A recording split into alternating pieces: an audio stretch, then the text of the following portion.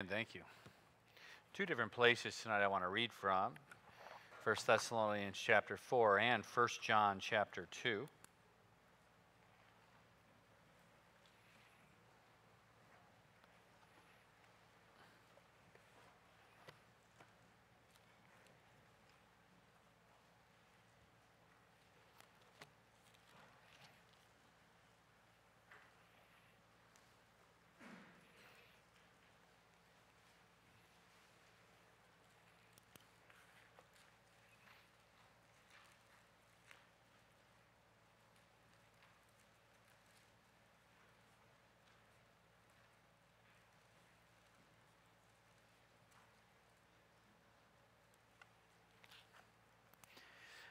All right, First John chapter 4, verse 13, and uh, then I'll read one.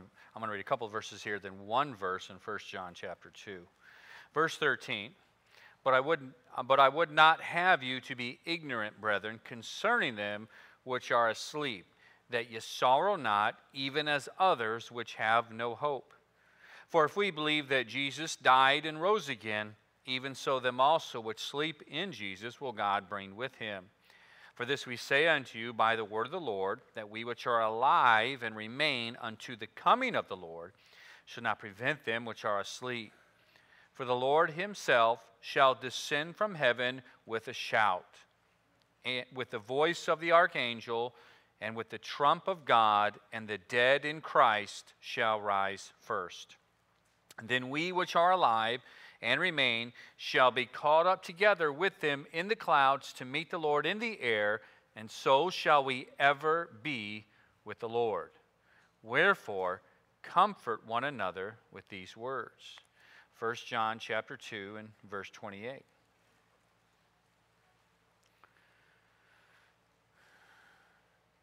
And now, little children, abide in him that when he shall appear, we may have confidence and not be ashamed before him at his coming.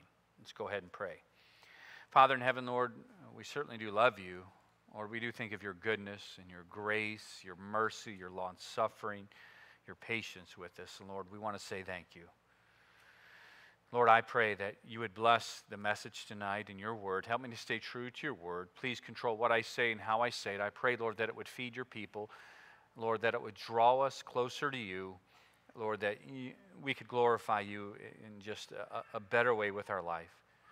Lord, that too you would meet needs that are here in this room. Help us to be focused on you and to and, and just, just to go out with a peace of knowing you're in control and what this is all about.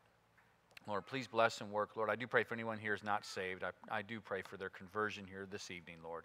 Again, Lord, we love you, and I pray this in Christ's name. Amen. In between services, I had to I had to run and pick up my camper and, and I actually ended up wearing a suit and having to go dump it. So the guy behind me, I start there to do that, and uh, the guy behind me gets out of his camper and, and uh, out of his vehicle. He was towing one as well, and he says, "You are absolutely the best dressed man I have ever seen dumping an RV." And I laughed, and uh, so I explained to him the situation. I said I wasn't planning on doing this, and, and I said this is how this came about, and and, and I said, I pastor a church. And he, says, he said, Well, what church do you pastor? And I told him.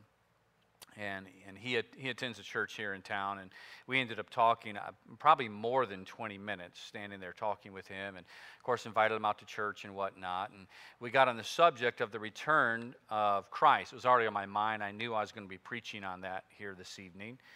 And we got talking about that about all that's taken place from COVID. He was one of the people, and and had a very good his his uh, college education and degrees in the medical field and he had refused to get the vaccine and lost, he was fired over it lost his job worked 16 years the same place and they fired him over that and uh, uh, but we were talking about all that's been taking place in this world pointing to the return of jesus christ i mean again, you think about, we have just seen so much transpire in, in, in, the last few years. I mean, it's just incredible, let alone when you just consider how the world has changed since the 1940s. I mean, every decade is just this massive leap now that is taking place. even now, just recently, just within the past few months. And I'm telling you, that's going to send us a whole nother level. And that's with AI and all that's coming about with that right now. And um, so it's just amazing what we're seeing take place. When I got saved, I actually knew nothing of the rapture. Um, being Catholic, you did not hear about that. The Catholic Church, Church believes in a doctrine called amillennialism. They believe the church is the kingdom. There is no rapture, there is no literal kingdom here on this earth. The church is that kingdom. So I was never taught it, I never heard of it before. Then I get saved, and I was saved for not too long, several months was the first time, and I remember Pastor John was still there, and he preached a message about this rapture. And I was like, what? What's going to happen? I mean, I had no clue that this was going to take place. And it was really good timing because that week he'd come over to our house just for a visit, and, and it ended up primarily being, and, and I am, what, 12, 13 at the time, just me and him talking. And I was just asking about this thing, the rapture, the second coming, the second coming of Christ, and just clueless that all this was happening and just fascinated by it. Matter of fact, he was the one who told me, he goes, he goes, you need to go get a video called uh, Thief in the Night. Remember that? How many, how many of y'all have seen that? Thief in the Night, Distant Thunder, and all those. So went and got those, I think, that very week and, and watched those and just amazed that this event would take place. All of a sudden, millions of people who are saved just gone, just simply disappear. Yet we see that's certainly true in our text that that day is coming. And as I said, what we have seen take place in this world since World War II has been incredible. I mean, uh, understand this is uh, like no other time in all in the 6,000 years of world history. I'm, fascinated by those of you who know in Bible college. Uh, I'll teach you a few of the courses. One of those is New Testament history really because I'm fascinated about the 400, what we call the silent years between the Testaments, all that God was doing. I find it just incredible where we leave off with the Persian Empire in control and all that the Lord does in preparations for the first coming of the Lord. Uh, from the rise of, of, of, the Grecians, Alexander the Great, to the rise of Rome, what that was providing for the world, all of that is all about the gospel and the coming of Christ and things being in place for that gospel to get carried out, the language of the New, Te- language of the New Testament, just incredible. Well, we are seeing much take place right now in preparation for the second coming of Jesus Christ. After World War II, a significant event occurred, and that was Israel became a nation. Um, May 14th, 1948. Now, again, I, I, don't believe I've taught through that in Matthew. I don't believe that is the fig tree for several reasons. I know that's commonly taught. Um, we're beyond those years anyhow. It should, it should go by the wayside, but that's not what that was dealing with. But nonetheless, make no mistake, Israel becoming a nation is enormous when it comes to the return of the Lord Jesus Christ. That's huge. It's taking place. We see it, it's, it's there. Understand, for, for, for that, for the events of Revelation to happen, Israel has to be a nation. They have not been a nation for 2,000 years, and then bam, they're a nation. Incredible coming to the end of the 1990s, at the end of the Cold War, what took place. Now you saw this mass return to Israel. Um, amazing. We see even today everything that's going on in world events with Russia, um, Ukraine, uh, the, the Russian military, the rise of China. The rise of China has been phenomenal if you're following that, um, with their, their economic boon allowing them to feed a military that is incredible right now. Um, and seeing how all this, all this can take place. The world is without a doubt preparing for the Antichrist.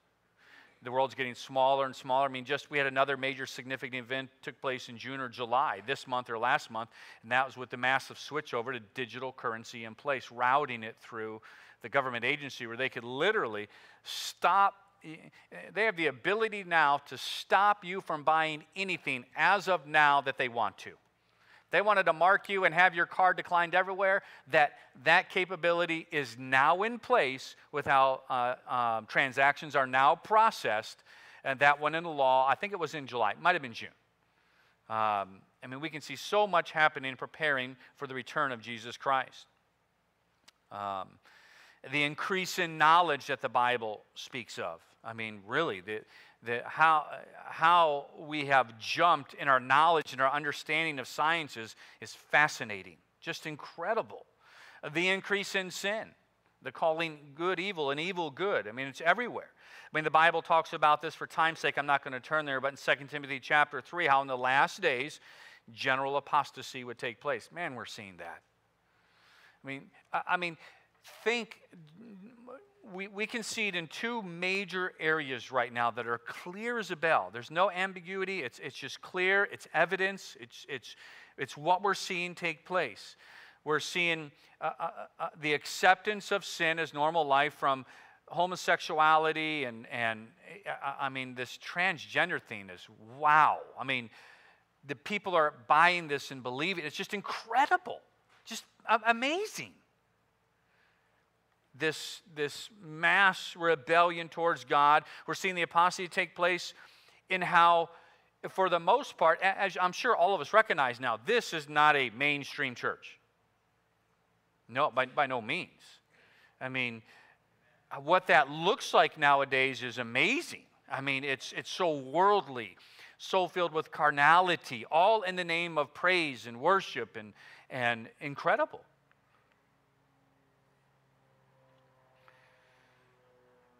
James chapter 5 speaks of the last days will be a time of great wealth. I let Levi know. Levi got a, uh, a, raise at work. And uh, why are they giving that? I don't know why they would do that. They gave him a raise at work, but they did. And so, with the raise that he got, I let Levi know, and this is a true statistic. I said, Levi, with this raise, you have now entered into the top 1% of income in the world. Think about that. Doesn't take much. If you're over 32,000 a year, you're in the top 1% of income in the world.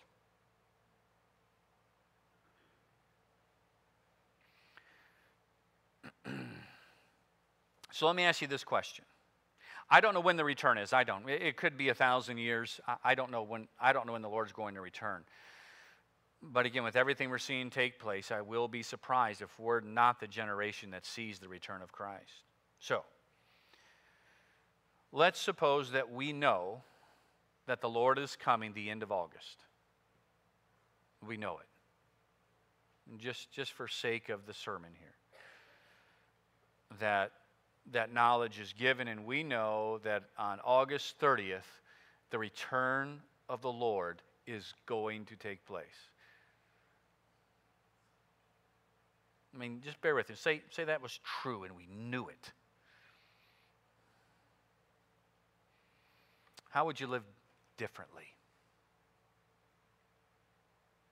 How would that knowledge affect your life? Some might say, I'm going to go max out my credit cards right now. I'm going to go, one, you need to get saved. Okay, that's your indicator. The red flag hit. If that's where your mind went, you, you really need to examine whether you be in the faith, and I'm, I'm not really joking with that. Um, but how differently would you live your life? You see, because you're going to be found in one of two ways either in confidence or ashamed. And understand when that moment hits, so much of what you thought that really mattered, you're going to see doesn't. It doesn't. At that moment, you will realize what I say almost every time behind this pulpit all that matters is God. It's what it's all about. And at that moment, when you see him in his power and his majesty, and, and that the realization sets in, even though you put your faith in it, we walk by faith right now. Faith will be gone, it will be sight. That changes things. So at that moment that your faith is made sight, oh, will it hit?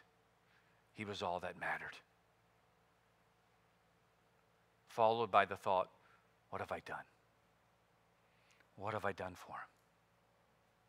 Realizing the Creator Himself died for you. How different would you live? How would you adjust?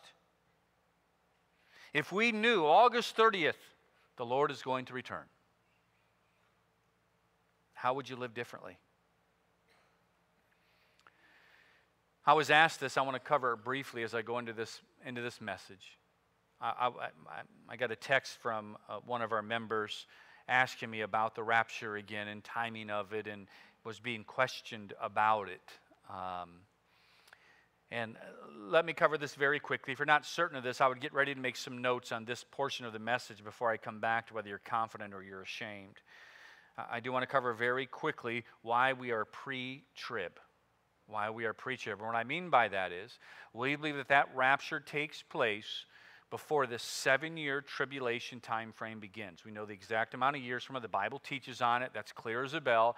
We believe the rapture happens at the very start of that, is when the Lord will come and pull all Christians out. And there is somewhat of a, of a debate on it. You have those who believe it won't happen until three and a half years in. Some are what we call pre wrath, and then there is post. Now, the mid and pre wrathers, it's pretty similar. Um, and then post is after it's over. Um, so I, I want to cover that just briefly, very quickly. Um, we see in 1 Thessalonians, I'm not going to read again, is the promise of the rapture taking uh, place, this event where God snatches out, where God removes all believers rapidly in the twinkling of an eye, all saved people will be removed from the earth in one event. Again, 1 Corinthians 15 also speaks more to the speed of it, how rapid this will hit the earth. By the way, you can, you can see another thing taken up for it. it. It just hit my mind. All this talk recently about all the UFO stuff. I mean, it's just so setting up for this stuff. Just amazing. So, when does this take place on God's prophetic timetable? Again, mid tribbers, they say real wrath does not begin until those vials hit. This is I'm, I'll cover pre-wrath and mid-trib at the exact same time. And uh, on, on one level, they're right. Major wrath does not hit. When those you got, if you remember, I went through the book of Revelation. I don't have time to do it now, but you, you start off with seven seals, seven trumpets, seven vials. All right? Three sets of judgment that will hit the earth in that seven year time frame seven seals, seven trumpets, seven vials in that order seals, trumpets, vials. And, it, and as it goes on, it progresses worse and worse. So the time you get to those last seven, they are massive wrath hitting the earth. Okay? So that's where they like to place the rapture. And so they use different events to try and support it. But they're easily debunked. Um, they say that the the, the removing of the two witnesses. If you remember, the witnesses will be killed that God has. Uh, we don't know exactly who they are. Again, we, we discussed that in Revelation Moses and Elijah, whoever it might be, Elijah and uh, um, Zerubbabel is actually one thought. And there's, there's several different um, ideas up there and reasons why people believe it. It really doesn't matter. It'll be two witnesses that God does have, and they're going to be slain, but then God's going to raise them up and they're taken up. And they say, that's there. There's your rapture right there. And they take that because that's at the conclusion of the seven trumpets. So they like to say, they make the connection with that seventh trumpet and at the last trump. All right? That is, both those are enormous stretches and don't fit it. Let me, let me cover why very quickly. One, we know from, uh, you get into Revelation chapter 6, when the seals hit, the Bible describes it as wrath. So wrath is already hitting with the seal, so we have to be gone before wrath. All right, so that's that debunks it alone. But let's deal with this trump thing. That's just a weak connection. The Bible does not connect those two at all. When you're dealing with this idea of, uh, of last of something, there's something that's either last in time or last in sequence. All right? Clearly what we're seeing in Revelation 7 it, it, it is dealing with something last in sequence because you have the first trump, the second trump, the third trump, the fourth trump, the fifth trump, the sixth trump, and then the seventh trump, which is the last of those seven trumpets. It's not the last of the trumpets for all time. It's just simply the last of that. That's what it teaches. Okay? Um, and it cannot be mid trib, it cannot be pre pre wrath in that sense because we have wrath hitting with the seals. Now remember, the seals are interesting with what God allows man to begin causing the wrath basically until the sixth seal is open.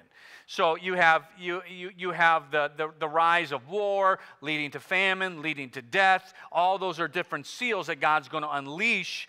And then, of course, everyone in the world's wondering this world is just falling apart, but they don't see why until the sixth seal is open. Many remember what happened at the sixth seal? The enormous earthquake. At that time, it's the biggest earthquake the world have ever seen. The entire world will be shaking. Now, what the world doesn't realize at that point is there's even a bigger one coming at the very end. There's even a bigger one coming in that one at the very end. But up to that point in world history, that will be the first earthquake that shakes the entire world. And it's not really to cause death. That's not why God does it. It's at that moment that Revelation 16, when that sixth seal hits, that all the world realizes, oh no, everything that's happening is from the Creator. It's from the Creator. If you read in Revelation, it says, everyone will know what's happening is from God. Okay? Um, so anyhow, it cannot be mid-trib for those uh, for those reasons. And then you would also see that post-trib, several of the reasons I just gave fit the exact same thing. They like to argue that the, the biggest argument for post-trib is this. They like to say the the theological teaching of pre-trib did not really start until the 20th century, the 19th and 20th century. Um, now, there's some truth to that, but that doesn't mean it's not true. They're arguing from silence, not from Scripture. So, so let's cover that aspect very quickly right now. Um, now, if you go way back into the into uh, first, second, third century. No, you do see writings dealing, lining up with exactly what we believe a pre trib rapture. But then it does go into a time of silence. But why? What took place? You had the rise of the Catholic Church, the rise of Augustine's writings. And so, uh, uh, uh, for, for the most part, those who are educated, those who are writing, they held to a belief called amillennialism, which, which, and postmillennialism, which by the 8th, 19th century, people believe that's just impossible. Uh, and amillennium, but the church was the kingdom. The Catholic Church was in control. That's what they taught. There is no rapture.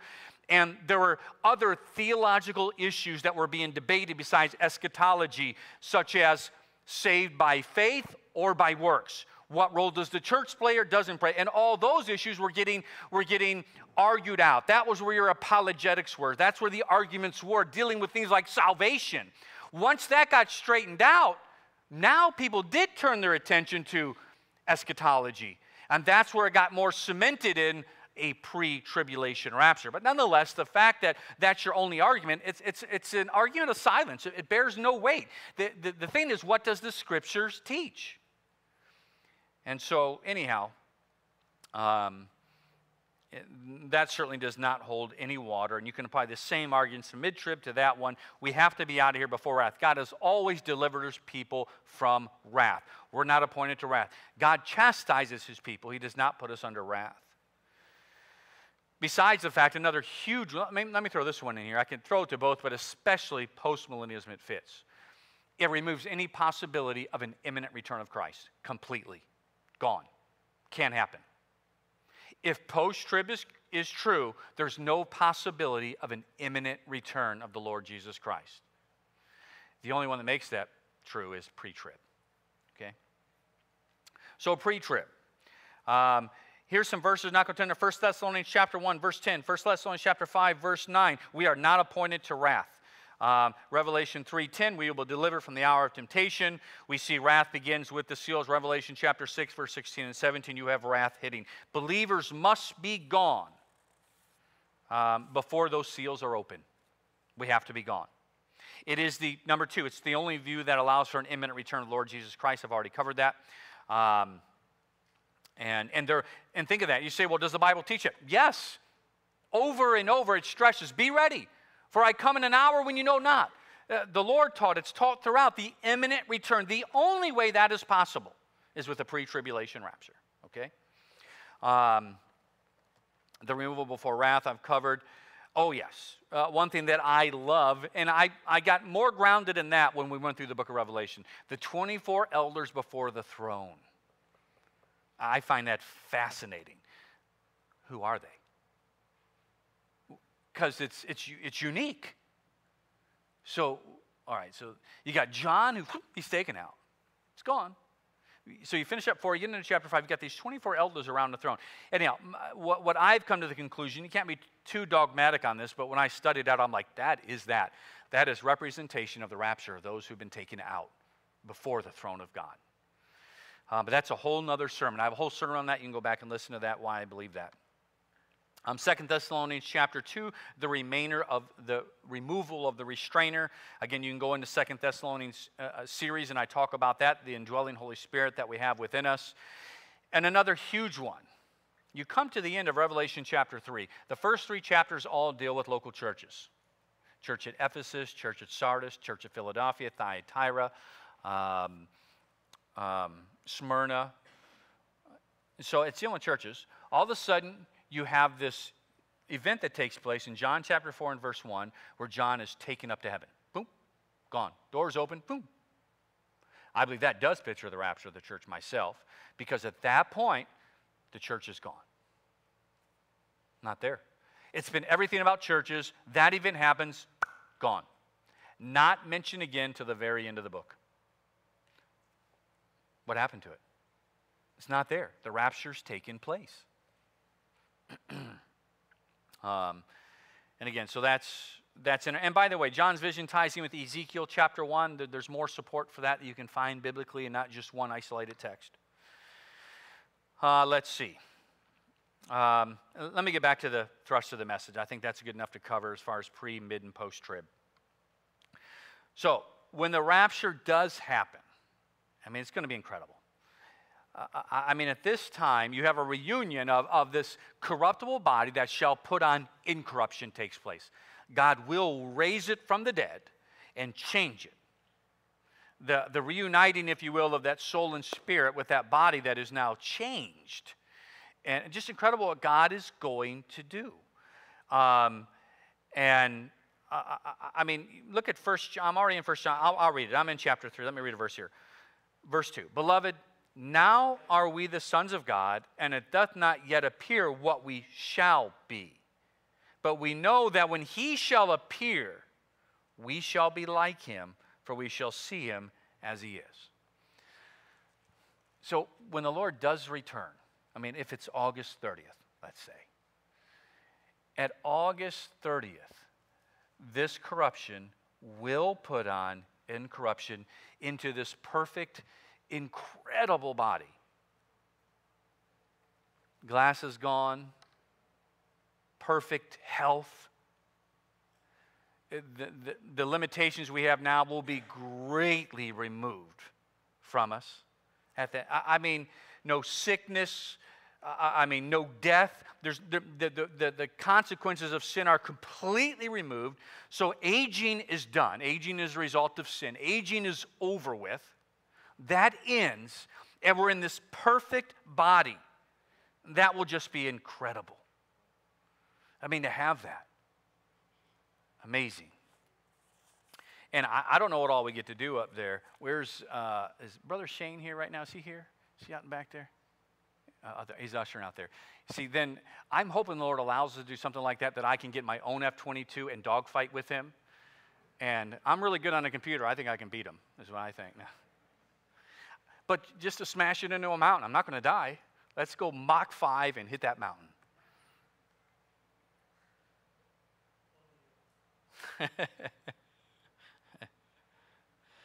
Steve, you really need a new body. I mean, if anybody in here is going to be glad for the rapture to happen this month, it's Steve Brunk.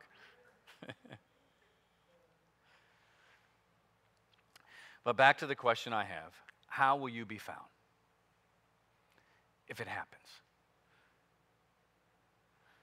You're going to have that new body, but understand you're going to stand before God Almighty. You're going to be in His presence. And it's going to be this, you know, I've seen this clip that there's going to be, or a sermon, I'm sorry, not a clip, a sermon that I had listened to of the seven types of Christians when they meet the Lord. And really, uh, there was hardly even I could follow. It discounts completely the message how we're going to view Christ in reality. Don't the Lord loves me more than anyone. I don't question that. He is my, as, as I'm even address God as my Father. What a privilege. We looked at that Wednesday night when talking about prayer. But make no mistake about it. When I get to heaven, that is the Creator God Almighty. It's not going to be my best friend. This is the Almighty God who spoke this world into existence. And we get a glimpse of that between John, who used to lay his head on his bosom when Christ was on earth, and when John sees him again in Revelation chapter 1. A little bit different response there.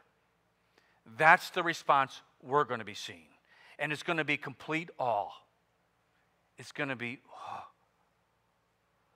bowing down. My Lord and my God.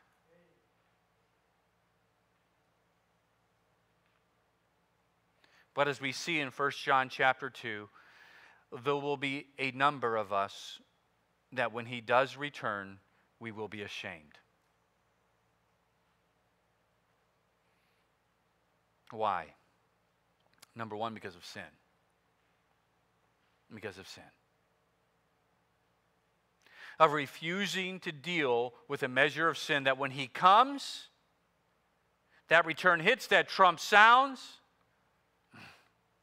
and you see him. Oh, you're still saved. You're still saved. That, that justice part of that was taken care of at the cross. But you just entered eternity. Do you understand that? You entered eternity.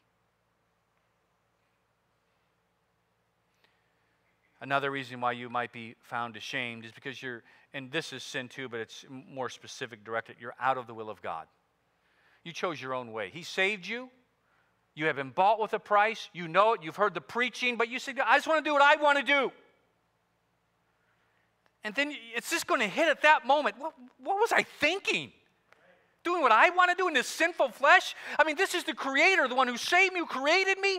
I mean, made all this possible for me. And I decide I'm going to do what I want to do.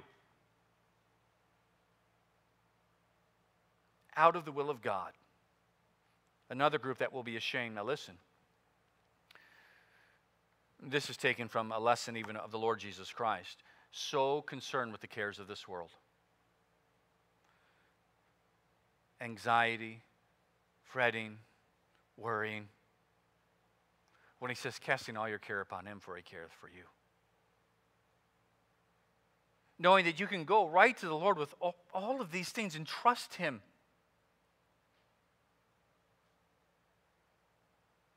Some, when the Lord comes, and this is the group you want to be in, you want to be confident.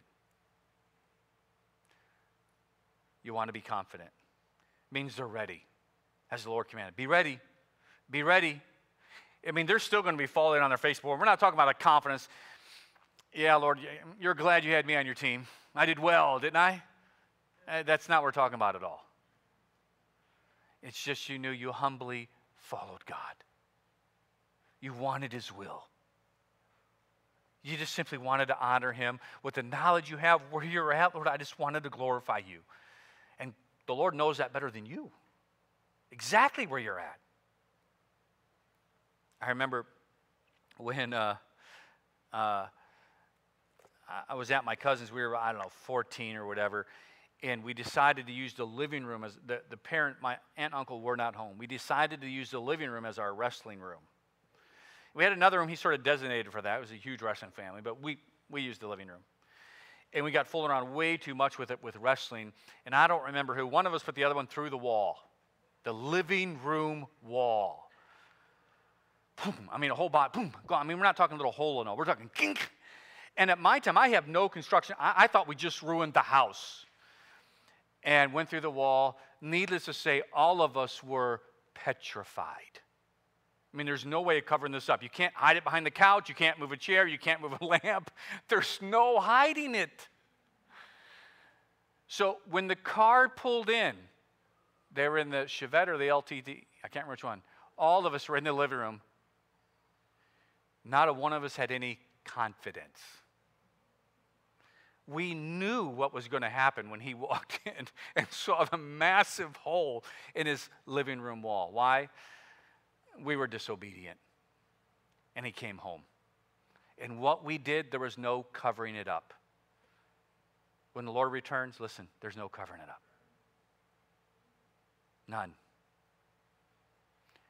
When you, when you look at him with those eyes, flames of fire, and they're going, just like John experienced when he dropped, they're going right through you. There's no covering it up.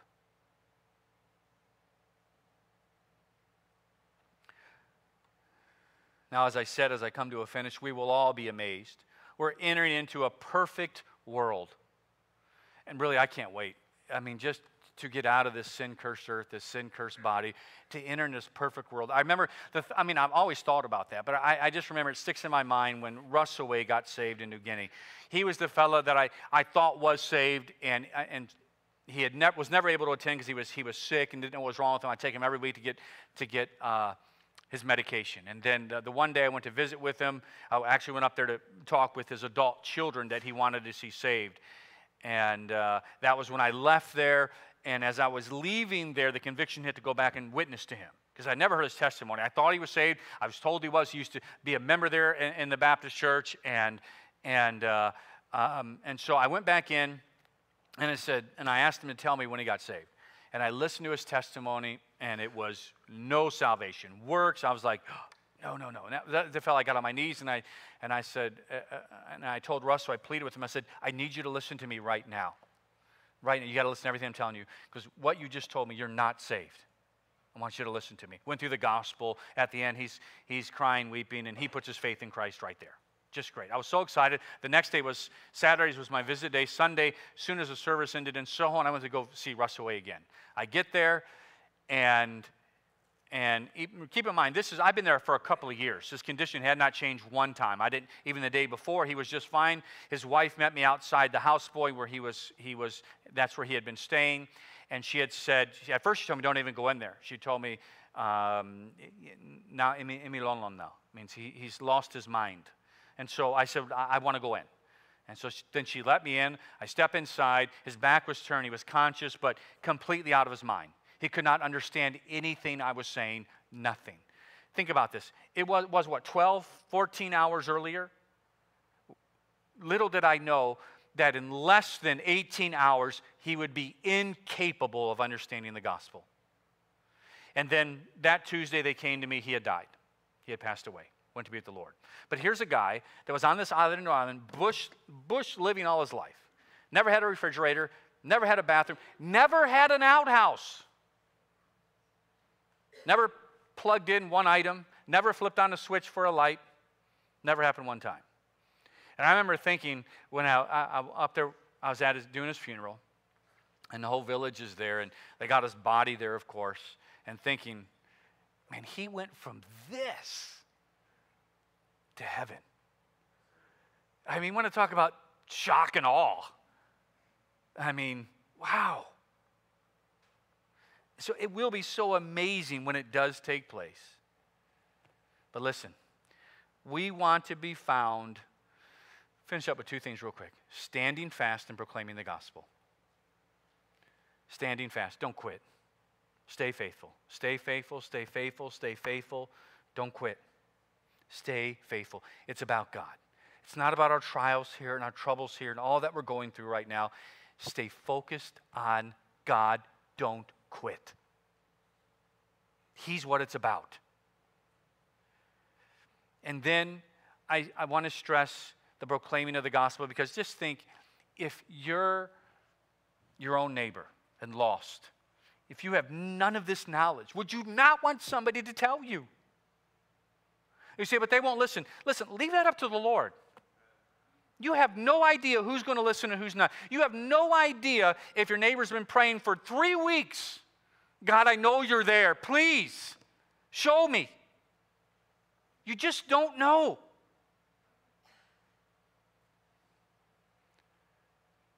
You want to be found as somebody who's proclaiming the gospel with heads bowed and eyes closed.